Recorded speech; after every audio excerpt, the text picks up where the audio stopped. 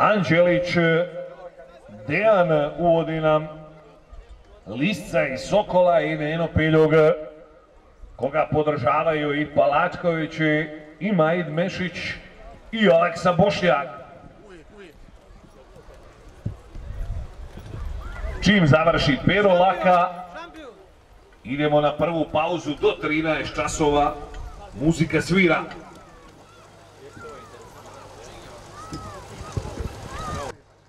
Po novoj vagi 1220.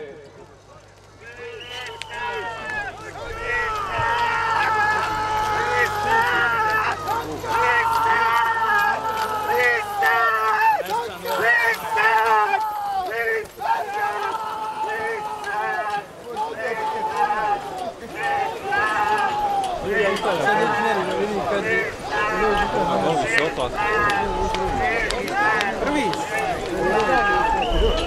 Prvi sigurno. Kakva ložja! Zadovoljni i Palačković i Piljug naravno i Anđelić. Vi se publiku odmorite. Pauza je do 13 časova. Čekao sam tebe, dakle 26, to je druga, drugo mjesto.